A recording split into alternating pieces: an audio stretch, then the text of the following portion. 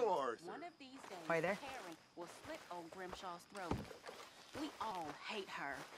But Mary Beth is sort of peaceful, and, and Abigail, she doesn't have time for that kind of nonsense. And I don't care enough, and Miss Adler, well, she may slit any one of our throats, come to think of it.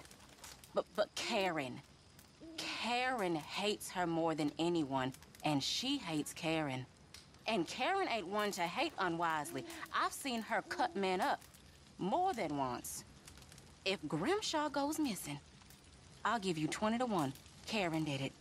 Only she won't slit her throat. She'll cut her throat clean out and drink her blood. Mark my words, boys.